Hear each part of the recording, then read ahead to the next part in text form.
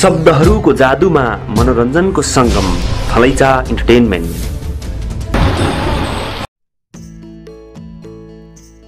आदरणीय दर्शकवृन्द नमस्कार। स्वागत छ तपाईँहरूलाई फलाइचा इन्टरटेनमेन्टमा म छु तपाईँहरूको मित्र कृष्ण उदासी र फेरि पनि एउटा विशेष सामग्रीका साथ म उपस्थित भएको छु। सामग्री रहेको छ किशोर अवस्थामा नै विभिन्न अभियानहरू सञ्चालन गरेर समाजमा बेग्लै पहिचान बनाउन सफल केपी खनालको नाली बेली। युवा जागरण त देश जागरण दशा लागेकालाई दसैँ भोकै छ हुम्ला म बदलिन्छु अनि मेरो देश बदलिन्छ जस्ता अभियान। सञ्चालन गर्ने किशोर केपी खनालको पारिवारिक र सामाजिक नालीबेली यस्तो छ। अछाम जिल्लाको साबिक बाटुला सेन गाविस वडा नम्बर दुई देवबुढी भन्ने विकट पहाडी गाउँमा खनाल परिवारको बसोबास थियो। त्यही परिवारमा जन्मेका थिए धनीराम खनाल। धनीराम दुई वर्षको हुँदा उनकी आमाको देह अवसान भयो। उनका बुबाले कान्छी विवाह गरे। त्यसपछि धनीराम खनाल टुहुरा भए। घरमा खासै राम्रो व्यवहार भएन। दुःख र अभावमा हुर्के आठ नौ वर्षकै उमेरदेखि भारी बोक्न थाले। उनी कैलालीको कटासेबाट भारी बोकेर तिन चार दिनमा अछाम देवबुढी भन्ने ठाउँमा पुर्याउँथे।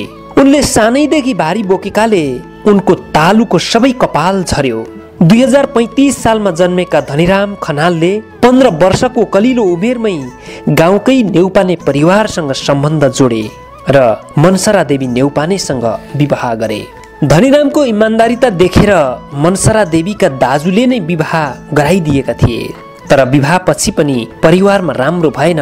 बुबा र कान्छी आमासँग छुट्टिएर त्यही घरमा तर अलग्गै खाने बस्ने गर्न थाले। गाउँमा दोकान थिएन। कटासेबाट भारी बोकेर धनीरामले गाउँमै पहिलो पटक किराना पसल खोले। साबिक बाटुला सेन गाविस हालको रामारोशन गाउँपालिका हो।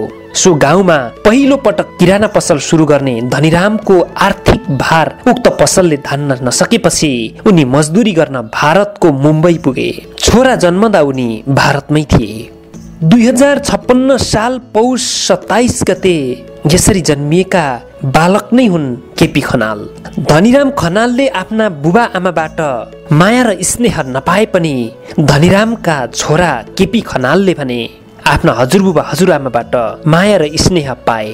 पछि केपी खनालका बुबा भारतबाट फर्किएपछि धनीराम र मनसरा देवीले बसाई सरेर कैलालीको बलिया गाविस वडा नम्बर नौ व्यवस्थित नगर भन्ने ठाउँमा जाने निधो गरे।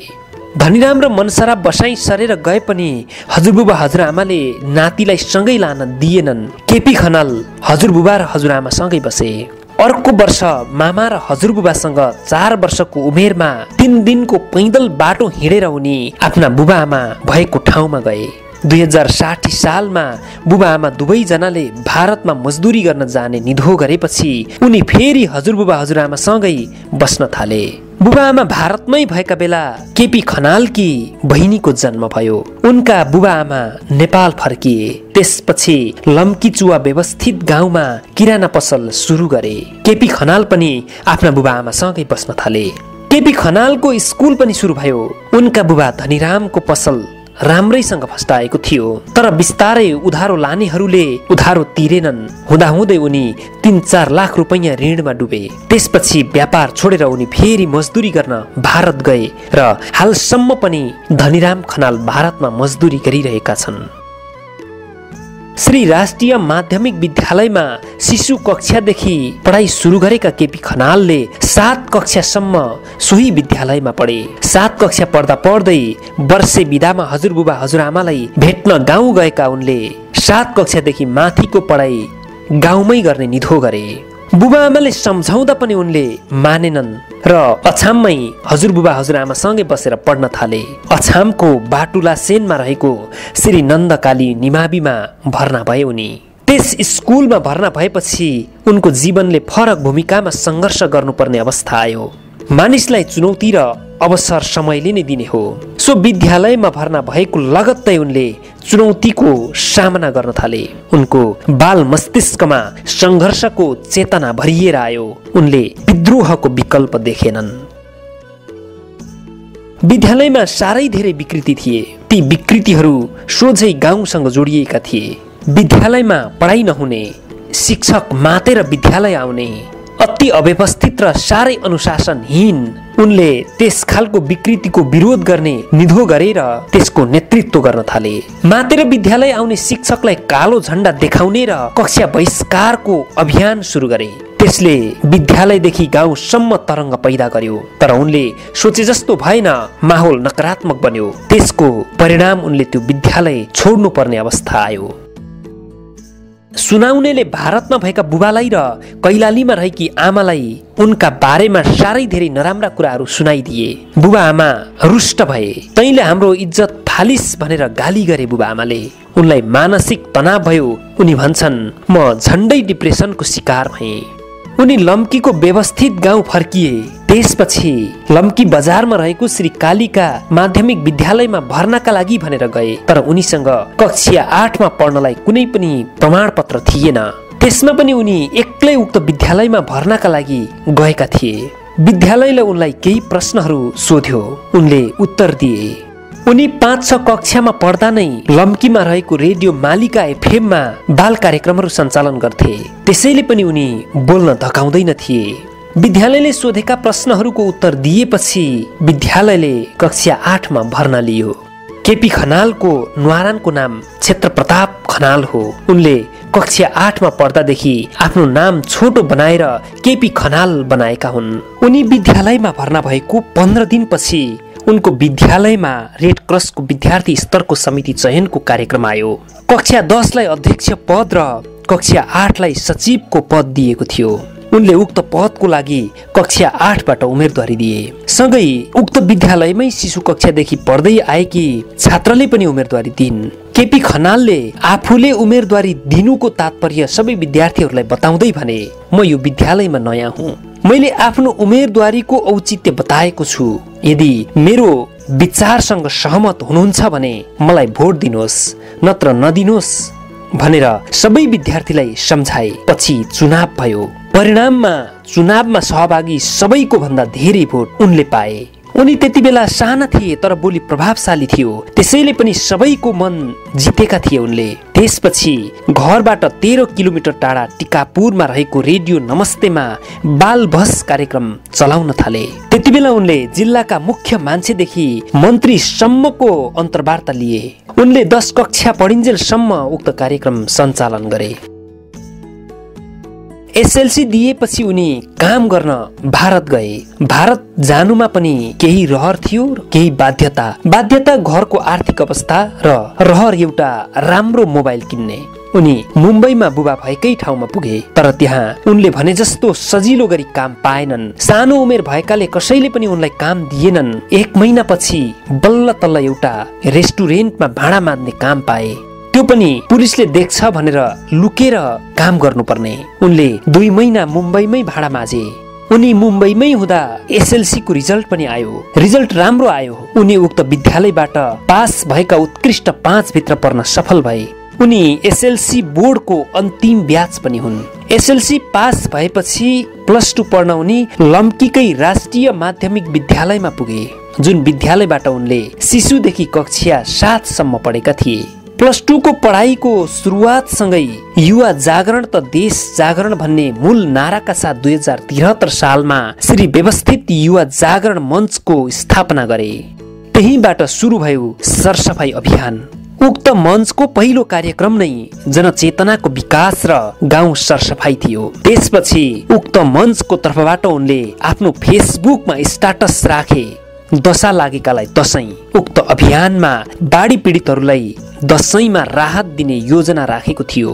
सुरुमा दस परिवारलाई राहत दिने लक्ष्य राखेको भए पनि पछि लक्ष्यभन्दा धेरै रकम जुटेपछि मोहन्याल गाउँपालिका टिकापुर नगरपालिका लम्कीचुवा नगरपालिका जानकी गाउँपालिका र त्रिशक्ति नगरपालिकाका एकाउन्न बाढी पीडित परिवारहरूलाई दसैँको टिकाकै दिन राहत बाँडे। दसैँ सकिने बित्तिकै केपी खनालले एउटा समाचार सुने। हुम्लाबाट सामान लिन बाजुरा गएका दुईजनाको पहिरोमा लडेर मृत्यु। उक्त समाचारले उनलाई चिमोट्नु चिमोट्यो। उनले उक्त परिवारलाई राहत पुर्याउने संकल्प गरेर भोकै छ हुम्ला भन्ने स्टाटस राखे। फेसबुकमा रकम सङ्कलन गरेर राहत लिएर एक दिनको गाडीको यात्रा र पाँच दिनको पैदल यात्रा गरेर उनी हुम्ला पुगेर पहिरोमा पर्नेको परिवार र अन्य चरम गरिबी भोगिरहेका एक्काइस परिवारलाई तिहारको मुखमा राहत वितरण गरे। व्यवस्थापन विषय लिएर प्लस टू पास गरेका केपी खनाल दुई हजार चौरात्तर सालमा उच्च शिक्षा अध्ययनको लागि काठमाडौँ पुगे। उनलाई ट्याक्सेस इन्टरनेसनल कलेजले तीन वर्षसम्म पूर्ण रूपमा छात्रवृत्तिमा पढाउने अवसर दियो। उनी त्यसै कलेजमा पढ्न थाले। उनी काठमाडौँ पुगेर पनि चुप लागेर बस्न सकेनन्। काठमाडौँ पुगेको केही महिनामै उनले देखे काठमाडौँको फोहोर काठमाडौँको वातावरण काठमाडौँको विकृति उनले चुप लागेर बस्न नसकेपछि उनी फेरि बोले म बदलिन्छु अनि मेरो देश बदलिन्छ। यो नारा सुन्दा सामान्य लाग्छ तर गहिरिएर सोच्ने हो भने यो नाराले साह्रै ठुलो मर्म उठाएको छ। यो नारा नारा मात्र होइन यो एउटा मनोक्रान्ति पनि हो। हरेक व्यक्तिले आफ्नो आचरण सुधार्ने हो भने देश सुध्रिन कति बेर पनि लाग्दैन। यो नारा त चेतना बाल्ने आगो पनि हो। पुस सत्ताइस गते उनको जन्मदिन पनि हो। तर त्यो त एउटा संयोग मात्र हो। खासमा त्यो दिन पृथ्वी जयन्ती अथवा एकता दिवस हो। त्यही दिवसको अवसर पारेर दुई हजार चौरात्तर साल पुस सत्ताइस गतेको दिन कोठेश्वरदेखि माइतीघर मण्डलासम्म सत्र सय युवालाई उतार्ने उद्घोष गरे उनले। उक्त कार्यक्रममा मन्त्री लालबाबु पण्डित उप प्रधानमन्त्री प्रकाश मान सिंह तिनैवटा विद्यार्थी संगठनका अध्यक्षहरू काठमाडौँ महानगरपालिकाका उपमेयर लगायतको उपस्थिति सहित हजारौंको उपस्थितिले उक्त कार्यक्रम समेत सफल भयो। त्यसपछि केपी खनालको चर्चा चुलिन थाल्यो। उनी आफ्नो अभियानलाई सफल बनाउन रात दिन लागिरहेका छन् अझै पनि। उनले दुई हजार पचहत्तर साल पुस सत्ताइस गते पनि अघिल्लो साल पुस सत्ताइस गते गरेको कार्यक्रमलाई निरन्तरता दिए। दुई हजार पचहत्तर साल पुस सत्ताइस गते उनले ललितपुरका मेयर सहितको हजारौंको उपस्थिति गराएर ललितपुर महानगरपालिका सफाईको काम सम्पन्न गरे। त्यति मात्र होइन केपी खनालले बाजुरामा रहेको अनाथ आश्रमलाई व्यवस्थित गर्न फलामे चिउरा चपाउने अठोट गरे। उनी भन्छन् दीर्घकालीन रूपमा एउटा सकारात्मक सन्देश बाँड्ने प्रयास गरेको हुँ। बाजुरामा कन्सन बाजुरा नाम गरेको एउटा अनाथ आश्रम थियो। अनाथ बालबालिकाहरू एउटा घरमा लगभग बिजोक अवस्थामा थिए। त्यो अवस्था देखेपछि उनी पिरो लिए उनले त्यस आश्रमलाई व्यवस्थित गर्नु अनिवार्य देखे। उनको सिद्धान्त छ मैले नगरे कसले गर्छ? त्यही सिद्धान्तलाई अवलम्बन गर्दै उनले आश्रमको नाममा भवन बनाइदिने निर्णय गरे र त्यसको नेतृत्व लिए। भवन बनाउने कुरा चान्चु नै थिएन त्यसमा पनि पचासजना अनाथहरूलाई राख्न सकिने भवन बनाउने उद्देश्य थियो। त्यसका लागि पचासौँ लाख रुपियाँ भन्दा धेरै चाहिन्थ्यो। बस्ने खाने चार चार कोठे तिनवटा भवन तीन कोठे स्नान गृह सहितको शौचालय भएको अनाथ आश्रम बनाउने भन्ने अठोट गरे। उनले सहयोगको आह्वान गरे। एक वर्षको यो महाअभियानमा सरिक भए देश तथा विदेशमा रहेका मनकारी नेपाली दाजुभाइ तथा दिदीबहिनीहरू अब भवन निर्माणको कार्य अन्तिम चरणमा पुगेको छ। दुई हजार छयत्तर साल वैशाखमा भवन जिम्मा लगाउने योजना रहेको छ उनको। आदरणीय दर्शकवृन्द हामीले केपी खनाललाई विभिन्न त्यस्ता व्यक्तिहरूको उदाहरण दिएर आर्थिक पारदर्शिताको प्रश्न उठायौँ। यदि तपाईँ यो विषयमा थोरै मात्र चुक्नुभयो भने जनताले राम्रा ठानेका मान्छेहरूप्रति रत्ति पनि विश्वास गर्दैनन्। तपाईँले कसरी व्यवस्थापन गर्दै हुनुहुन्छ? उनले भने मैले आर्थिक पारदर्शिताको लागि नयाँ केही गरेको छैन। जे जति सङ्कलन हुन्छ त्यो तत्काल फेसबुक लाइभ गरेर सम्बन्धित ठाउँमा हस्तान्तरण गर्ने गरेको छु। तर मैले बोलेर भ्रष्टाचार गर्दिन भन्नुभन्दा पनि मैले मेरो व्यवहारमा कति लागू गर्न सक्छु त्यसले चाहिँ अर्थ राख्छ। उनले भने म यो विषयमा सकेसम्म सचेत छु। मलाई यति बेला लाखौं दाजुभाइ दिदीबहिनीहरूको माया र हौसला मिलिरहेको छ। म यसलाई गुमाउन चाहन्न। आदरणीय दर्शकवृन्द आज हामीले समाजमा विभिन्न अभियान सञ्चालन गरेर चर्चामा रहेका समाजसेवी किशोर केपी खनालको नाली बेली सार्वजनिक गर्यौं यहाँहरूलाई हाम्रो सामग्री र प्रस्तुति कस्तो लाग्यो? हामीलाई माया गरेर आफ्नो स्वतन्त्र प्रतिक्रिया लेखिदिनु हुन विनम्र अनुरोध गर्दछौँ। त्यसै गरी यो भिडियोलाई सेयर गरेर हामीलाई हौसला दिनुहुन समेत विनम्र अनुरोध गर्दछौँ। हवस् त धन्यवाद नमस्कार।